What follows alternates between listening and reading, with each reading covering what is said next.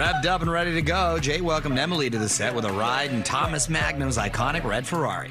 Season five, Magnum PI, it is happening. Yeah, it's happening. What was it like when you thought maybe it wouldn't be? Well, I was I was uh, shocked when when they said that the show was going to be canceled. And so were the fans. The threat of cancellation prompting viewers worldwide to raise money for a billboard in Times Square, urging TV execs to save the show. And it was really cool and humbling to see how how the fans responded and how much they were like they had our back.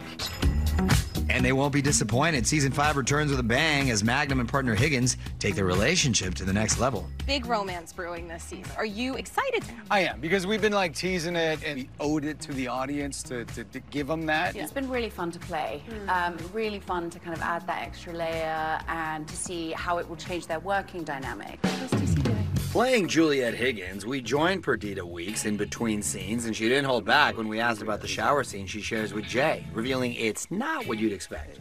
It's not in any way steamy. It's all totally smoke and mirrors. And you're doing it in front of, uh, you know, 40 people on the crew. There's nothing sexy about it. Yep. But the rest of the cast is all for the romance. It's nice to see them, uh, for lack of a better term, let their hair down and really kind of, you know, let things go the way that they are meant to go.